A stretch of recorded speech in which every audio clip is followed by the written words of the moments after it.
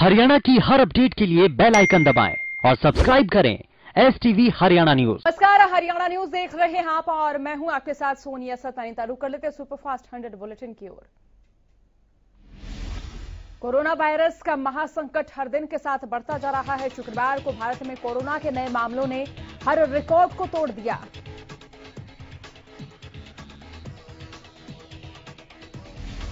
देश में लगातार दूसरे दिन कोरोना के दो लाख से ज़्यादा मामले दर्ज किए गए हैं। केंद्रीय स्वास्थ्य मंत्रालय के अनुसार, देश में शुक्रवार को कोरोना के कुल दो लाख सत्रह हज़ार तीन सौ तिरपन के सामने आए हैं, जबकि एक हज़ार एक सौ पचासी संक्रमितों की मौत की खबर है।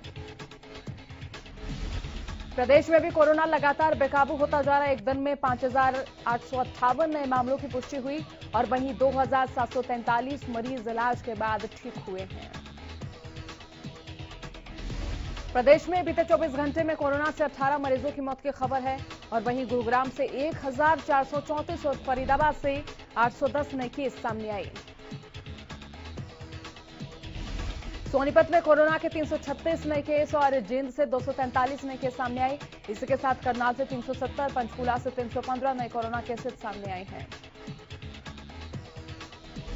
हिसार से तीन सौ उन्यासी यमुनानगर से एक सौ चौहत्तर नए मामले सामने आए। अंबाला से तीन सौ चौरानवे पानीपत से दो सौ अड़तालीस नए कोरोना केसेस सामने आए हैं।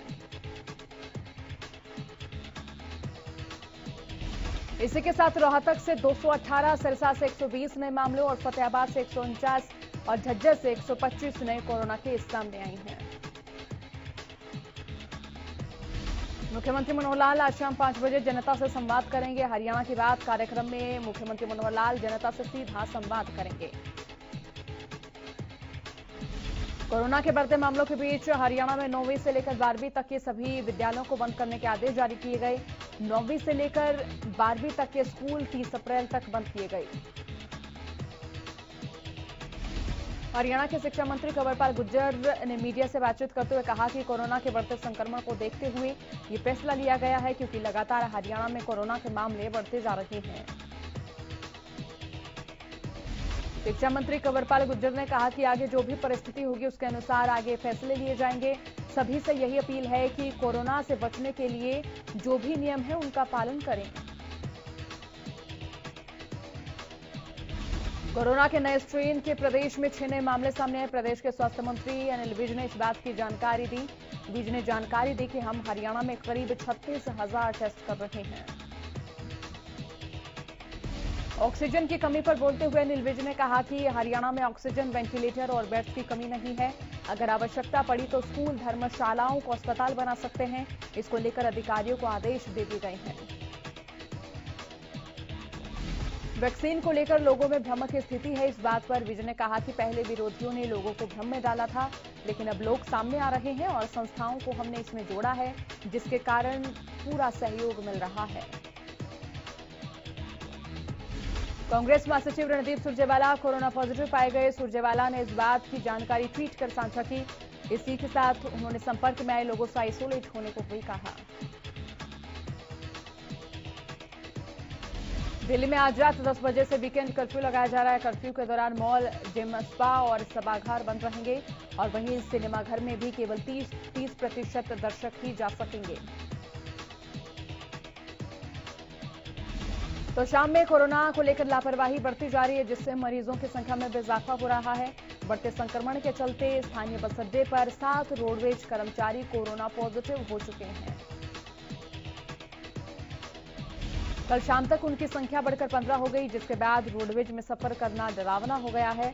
और इसी संबंध में जानकारी देते हुए सामान्य अस्पताल के मुख्य चिकित्सा अधिकारी ने बताया कि कस्बों में मरीजों की संख्या लगातार बढ़ती जा रही है।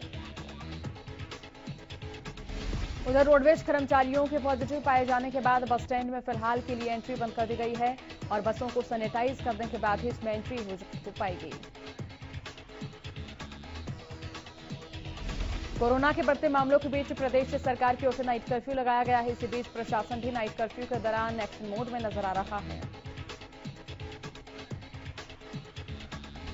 यमुनानगर में नाइट कर्फ्यू के दौरान रेस्टोरेंट ढाबे और कुछ फास्ट फ़ूड की रेहड़ियाँ लगी हुई नज़र आई और इसी दौरान पुलिस ने सभी के खिलाफ कार्रवाई की। डीसी और एसपी ने नाइट कर्फ्यू में बेवजह सड़कों पर घूम रहे लोगों को रोककर उनसे पूछताछ की। यमुनानगर के डीसी ने कहा कि जो भी नियमों का उल्लंघन करेगा, उसके खिलाफ कानूनी कार्रवाई की जाएगी। डीसी ने कहा कि नाइट कर्फ्यू के जो निर्देश हैं, उसकी पालना करवाई जाएगी, जो कोरोना के पॉजिटिव पेशेंट हैं। अगर वो भी होम आइसोलेशन के दौरान बाहर घूमेंगे तो उनके खिलाफ भी कानूनी कार्रवाई की जाएगी। प्रदेश में कोरोना को लेकर सरकार ने नाइट कर्फ्यू का ऐलान किया, जिसका असर पानीपत में देखने को मिला। जब रात में हरियाणा न्यूज़ ने पानीपत की सड़कों पर इसका रियलिटी चेक किया तो लोग कोरोना को लेकर जागरूक नज़र आए। बात अगर पानीपत ज़िले की करें तो यहाँ हालात बद से बदतर हैं। पानीपत ज़िले में वीरवार को 219 नए संक्रमित केस मिले। तिहत्तर प्रतिशत मरीज़ होम आइसोलेशन में हैं। पिहोर में प्रशासन की ओर से बिना मास्क पहने वाहन चालकों और पैदल घूम रहे लोगों के चालान काटे जा रहे हैं। प्रशासनिक अधिकारी ने बताया कि कोरोना के बढ़ते मामलों के बीच चालान में तेज़ी लाई गई है। पुलिस का कहना है कि शुरुआती दौर में लोगों को समझाया जा रहा है और अगर उसके बावजूद भी लोग बिना मास्क के घूमते हुए नज़र आ रहे हैं तो उनके खिलाफ सख्त कार्रवाई की जा रही है। इस समय पूरे देश में कोरोना की महामारी दोबारा से अपनी दस्तक दे रही है, लेकिन झज्जर के लोग हैं कि पूरी तरह से लापरवाह नज़र आ रहे हैं। यहाँ के मेन बाजारों में चाहे दुकानदार हो या ग्राहक, सभी सरकारी नियमों की खुलेआम धज्जियाँ उड़ा रहे हैं। कोरोना के बढ़ते संक्रमण और हरिद्वार कुंभ में हर दिन मिल रहे संक्रमितों की संख्या को देखते हुए, संतों और श्रद्धालुओं को देखते हुए आयोजन को जल्द खत्म करने की चर्चा ने ज़ोर पकड़ लिया है। इसी चर्चा के बीच गुरुवार को निरंजनी अखाड़े ने कुंभ की समाप्ति की घोषणा कर दी। अखाड़े के सचिव महंत रविंद्र पुरी ने कुंभ की समाप्ति की घोषणा करते हुए कहा कि कोरोना के बढ़ते प्रकोप के चलते अखाड़े ने यह फैसला लिया है कि 17 अप्रैल को कुंभ मेला समाप्त कर दिया जाएगा। अखाड़े के सचिव महंत रविंद्र पुरी ने इस दौरान अन्य अखाड़ों से भी मेला समाप्त करने की अपील की और कहा कि कोरोना संक्रमण को देखते हुए लोगों के हित में मेले का समापन हो जाना चाहिए। चैत्र नवरात्रि का आज चौथा दिन है। चौथे दिन भक्त माँ कुष्मांडा की पूजा अर्चना कर रहे हैं। मंदिरों में भक्त माँ के दर्शन के लिए पहुँच रहे हैं। सूबे के मुखिया मनोहर लाल ने विदेश सहयोग की समीक्षा बैठक की अध्यक्षता की। इस दौरान उन्होंने अधिकारियों को निर्देश देते हुए कहा कि क्षेत्र के सामाजिक, आर्थिक कल्याण के लिए हरियाणवी प्रवासियों के साथ मज़बूत संबंध विकसित करना विभाग की सर्वोच्च प्राथमिकता होनी चाहिए। मुख्यमंत्री मनोहर लाल ने अधिकारियों को गो ग्लोबल अप्रोच के माध्यम से हरियाणा को ग्लोबल ब्रांच के रूप में स्थापित करने के लिए दुनिया भर के इच्छुक निवेशकों की पहचान करने के निर्देश दिए हैं। सी मनोहर लाल ने कहा कि विभाग द्वारा की जा रही गतिविधियों का प्रगति चार्ट तैयार किया जाए और मासिक आधार पर समीक्षा बैठक की जाए। मुख्यमंत्री मनोहर लाल ने निर्यात बढ़ाने की दिशा में देशवार लक्षित गतिविधियाँ भी तैयार करने के निर्देश दिए। बैठक में मुख्यमंत्री को अवगत कराया गया कि दूतावासों के साथ समन्वय को और मज़बूत करने के लिए विभाग द्वारा समर्पित प्रयास किए गए हैं। मुख्यमंत्री मनोहर लाल ने चंडीगढ़ में एचएसआईआईडीसी के अधिकारियों की बैठक की अध्यक्षता की। मुख्यमंत्री ने प्रदेश में अनाधिकृत क्षेत्रों में चल रहे उद्योगों को रेगुलर करने के लिए पॉलिसी बनाकर उसे जल्द से जल्द अमलीजामा पहचाने के निर्देश दिए। इस बैठक में उप मुख्यमंत्री दुष्यंत चौटाला भी मौजूद रहे। मुख्यमंत्री ने अधिकारियों को निर्देश दिए कि किसी भी स्तर पर कोई समस्या न आए। इसके लिए नियम कायदे ड्राफ्ट कर काम को आगे बढ़ाया जाए। बैठक में बताया गया कि इस संबंध में अब तक यमुनानगर, फरीदाबाद, पानीपत और रोहतक में उद्योगों का सर्वे किया गया है। सर्वे रिपोर्ट के अनुसार यमुनानगर में कुल चार हज़ार सात सौ बयालीस उद्योग हैं। इनमें से एक हज़ार चार सौ तेरह कंफर्मिंग जोन में, जबकि तीन हज़ार तीन सौ उनतीस नॉन कर्फेमिंग जोन में हैं। इस सर्वे रिपोर्ट के बाद इन उद्योगों का पाँच प्रतिशत रेंडम सैंपल वेरिफिकेशन संबंधित म्यूनिसिपल कमिश्नर को अगले एक सप्ताह में निपटाने के निर्देश दिए गए।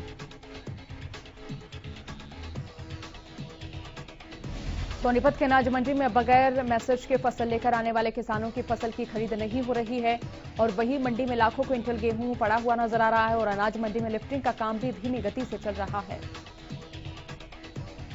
दूसरी ओर एक बार फिर मंडी के आड़तियों की कई एजेंसियों की ओर से गेहूँ की फ़सल में कमियाँ निकालकर उन्हें वापस भेजा जा रहा है, जिसके कारण आड़तियों को काफ़ी नुकसान उठाना पड़ रहा है।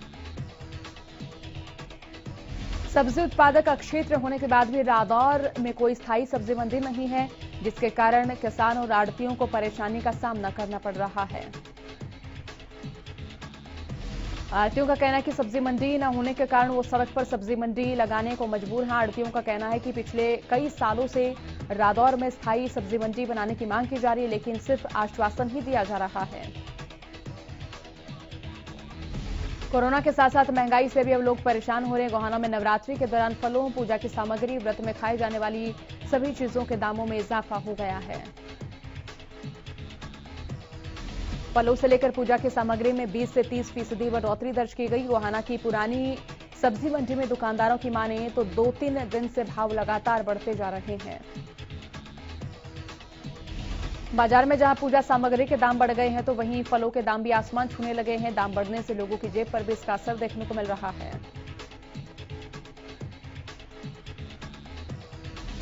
रेवाड़ी में सहकारिता मंत्री डॉक्टर बनमारी लाल ने कहा कि एम्स प्रोजेक्ट क्षेत्र की सबसे बड़ी उपलब्धि है। रेवाड़ी पहुँचे सहकारी मंत्री बनवारी लाल ने एम्स प्रोजेक्ट को सिरे चढ़ाने के लिए गाँव के लोगों का आभार जताया। वहीं प्रदेश में तेज़ी से बढ़ रहे कोरोना के मामलों पर बनवारी लाल ने कहा कि मजदूरों को इस बार पलायन नहीं करना होगा। उन्होंने आंदोलन कर रहे किसानों और आम जनता से कोरोना के नियमों का पालन करने का आग्रह किया। सोनीपत में यमुना क्षेत्र एक बार फिर किसानों के बीच खूनी खेल बन गया है। लंबे समय से चल रहा ज़मीन विवाद को लेकर शुक्रवार को भी विवाद गहराता नज़र आया। सोनीपत यमुना क्षेत्र में शुक्रवार को यूपी और हरियाणा के किसानों के बीच में फ़सल कटाई को लेकर झगड़ा हो गया, जिसमें दोनों ओर से गोलियाँ चल गई और यूपी के रहने वाले किसान की मौके पर ही मौत हो गई। इस मामले की जानकारी देते हुए कुंडली थाना प्रभारी रवि कुमार ने बताया कि हमें जानकारी मिली थी कि गाँव करूमपुर में यमुना विवाद को लेकर गोलियाँ चली हैं। पुलिस का कहना है कि मृतक के परिजनों के बयान के आधार पर कार्रवाई की जा रही है। कैथल में प्राइवेट स्कूल वेलफेयर एसोसिएशन ने रोष मार्च निकाला और सचिवालय में ज्ञापन सौंपा। एसोसिएशन ने कहा कि सरकार का ये फैसला शिक्षा स्थिति पर प्रतिकूल प्रभाव डालेगा। चरखी दादरी में भी प्राइवेट स्कूल संचालकों ने स्कूल बंद करने के फैसले के खिलाफ प्रदर्शन किया। इस दौरान फैसले के खिलाफ प्रदर्शन करते हुए स्कूल संचालकों ने मुख्यमंत्री के नाम, सीटीएम को ज्ञापन सौंपा। स्कूलों के संचालक ने बताया कि सरकार के इस फैसले से उन्हें काफ़ी नुकसान हो रहा है। स्कूल संचालकों ने मांग की है कि सरकार उनके स्कूल में लगे अध्यापकों, चौकीदारों और कर्मचारियों की तनख्वाह का वहन करे। सी. मनोहर लाल के साथ हुई कॉन्फ्रेंस बैठक के बाद जानकारी देते हुए उपायुक्त प्रदीप कुमार ने बताया कि कोरोना के बढ़ते मामलों को देखते हुए मुख्यमंत्री और स्वास्थ्य मंत्री ने हिदायतें जारी की हैं। दिनचर्या का हिस्सा बनाएँ और भीड़भाड़ से बचते हुए सोशल डिस्टेंसिंग की अनुपालना करें।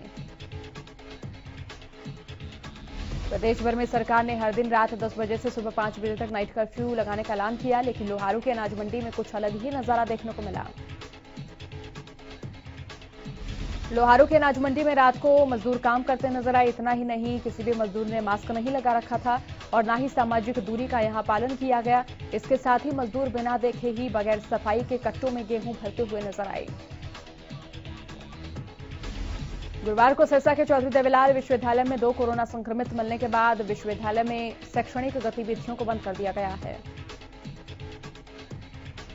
विश्वविद्यालय के वाइस चांसलर अजमेर मलिक ने बताया कि विश्वविद्यालय में कोरोना प्रोटोकॉल को अपनाते हुए सैनिटाइजेशन करवा दिया गया है। इसके अलावा विश्वविद्यालय के हॉस्टल खाली करवा दिए हैं और छात्रों को घर भेज दिया है। गौरतलब है कि इससे पहले भी विश्वविद्यालय में कोरोना संक्रमित पाए जाने के बाद तीन दिन तक विश्वविद्यालय को बंद करवा दिया गया था। हरियाणा में लगातार कोरोना के मरीजों की संख्या बढ़ती जा रही इसी बीच डॉक्टर्स ने लोगों को फ्रिज के ठंडे पानी से परहेज करने की सलाह दी है। अब लोगों का रुझान मिट्टी से बने मटकों की ओर बढ़ता जा रहा है, जिससे कुम्हार भी खुश नज़र आ रहे हैं। क्योंकि उन्हें उम्मीद है कि जिस तरह अब गर्मी बढ़ रही है और मटकों की डिमांड उठ रही है, वो पिछले साल हुए नुकसान से उभर पाएँगे। और वहीं कुम्हार दीपक का कहना है कि वो पिछले 20 सालों से मटके बनाने का कार्य कर रहे हैं। पिछले साल कोरोना के कारण काम पूरी तरह से ठप हो गया था, लेकिन इस साल काम ठीक चलने की उम्मीद है। अभी तक मटकों की डिमांड भी ठीक आ रही है। सिरसा सीआईए पुलिस ने गुप्त सूचना के आधार पर कार्रवाई करते हुए तीन सट्टेबाजों को गिरफ़्तार किया। आरोपी आईपीएल मैच में ऑनलाइन सट्टेबाजी करते थे। सिरसा सिविल लाइन थाना पुलिस इंचार्ज जितेंद्र कुमार ने बताया कि सिरसा सीआईए की टीम को गुप्त सूचना मिली थी कि कुछ लोग आईपीएल के मैचों पर सट्टेबाजी कर रहे हैं, जिसके आधार पर उन्होंने सिरसा की एक कॉलोनी में छापेमारी कर तीन लोगों को ऑनलाइन सट्टेबाजी में काम आने वाले सामान समेत गिरफ़्तार किया। प्रदेश भर में कोरोना के मरीजों की बढ़ती संख्या ने सरकार की चिंताएँ और बढ़ा दी है। इसी बीच गृहमंत्री अनिल विज ने जिला प्रशासन के अधिकारियों को कोरोना के प्रति सख्ती बरतने के आदेश दिए थे, लेकिन वहीं एक और जाखल के लोग कोरोना नियमों की धज्जियाँ उड़ाते नज़र आए। कोरोना से हो रही मौतों को देखते हुए प्रदेश सरकार ने हर शहर में एलपीजी शवदा सिस्टम लगाने का कार्य शुरू किया। अंबाला के गोविंदपुरी शमशान घाट में लगभग छसठ लाख की लागत से लगाए गए ये शब्दाब इस्तेमाल में लिए जाएँगे। प्रशासन ने गोविंदपुरी शमशान घाट की देखरेख करने वाली खत्री सभा को आदेश दिया कि कोरोना से मरने वाले लोगों का संस्कार एलपीजी शवदाह सिस्टम के ज़रिए ही किया जाए। दुकानदार बिना मास्क और बिना सोशल डिस्टेंसिंग के नज़र आए, जिसका कारण अधिकारियों की लापरवाही को बताया गया। सरकार की ओर से नाइट कर्फ्यू भी लगाया गया है। वहीं कुछ लोग कोरोना को लेकर लापरवाही बरतते नज़र आ रहे हैं। ऐसे में जिला प्रशासन ने लोगों को जागरूक करने का अभियान चलाया है। यमुनानगर के बिलासपुर में एसडीएम खुद रोड पर आए और लोगों को जागरूक किया और मास्क के बिना सड़कों पर निकल रहे लोगों को मास्क वितरित किए। कृषि कानूनों के खिलाफ किसानों का आंदोलन एक सौ दिन भी लगातार जारी है। कृषि कानूनों को रद्द करने की मांग को लेकर किसान बॉर्डर पर डटे हुए हैं। टीकरी बॉर्डर पर सफ़ाई और पीने के पानी की व्यवस्था नहीं होने से किसानों में रोष बता दें कि एक महीने से टीकरी बॉर्डर पर सफ़ाई कर्मचारी नहीं पहुँच रहे हैं। सीवरेज सिस्टम खराब होने की वजह से जगह जगह पानी ठहरा हुआ है, जिससे नाराज़ किसानों ने सरकार को अल्टीमेटम दिया है।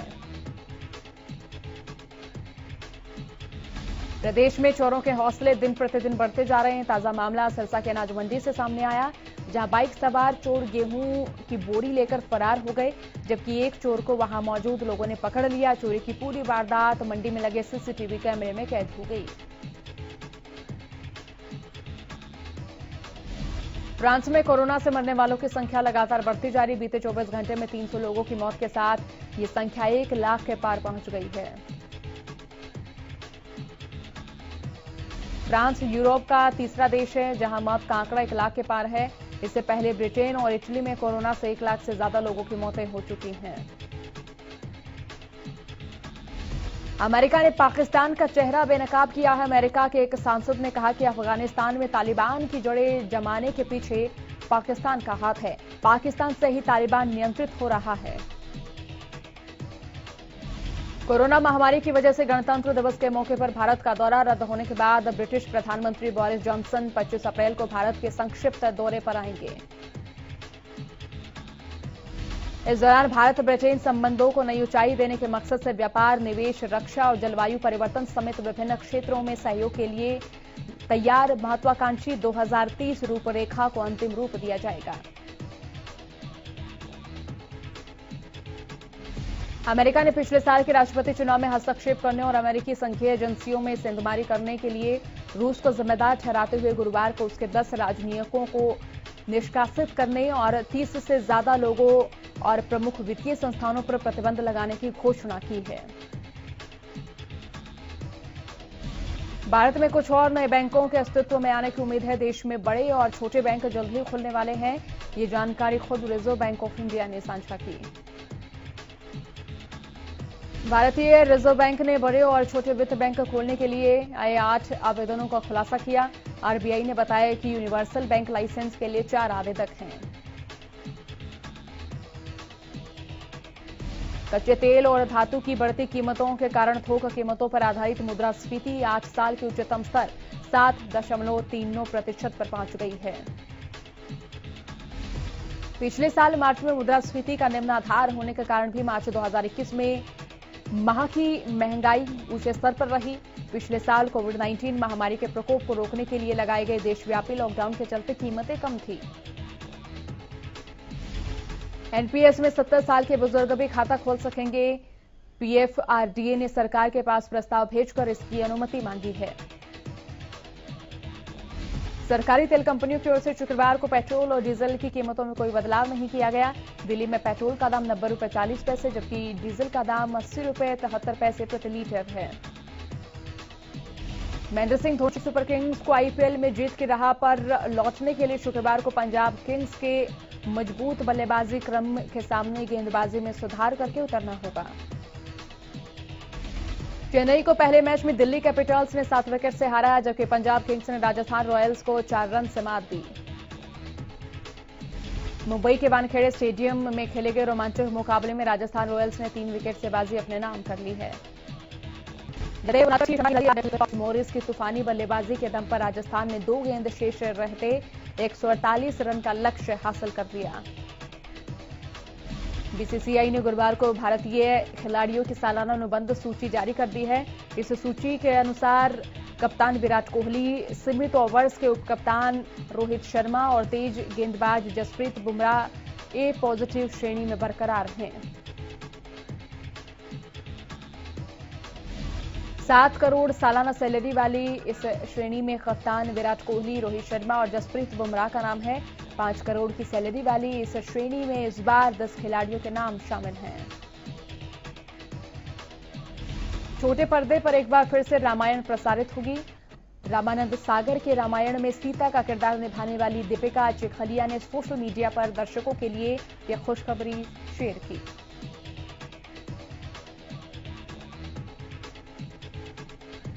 फ़िल्म अभिनेता रणवीर सिंह के साथ बनने जा रही तमिल फ़िल्म अन्नियन की रीमेक के ऐलान पर इसके निर्माता ऑस्कर रविचंद्रन ने आश्चर्य ज़ाहिर किया। ऑस्कर का कहना है कि फ़िल्म की कहानी के सारे अधिकार उनके पास सुरक्षित हैं और वो बिना उनकी अनुमति फ़िल्म का रीमेक नहीं कर सकते। मशहूर टीवी शो तारक मेहता का उल्टा चश्मा के अभिनेता मंदार चंद वाडकर कुछ समय पहले कोरोना संक्रमित हुए थे और वहीं अब शो के सेट पर 110 लोगों का कोरोना टेस्ट हुआ है, जिसमें चार लोग पॉजिटिव पाए गए हैं। इस मामले को लेकर निर्माता असित मोदी ने शूटिंग बंद होने पर बाहर जाकर शूट करने और सेट पर चार लोगों के कोरोना संक्रमित होने की बात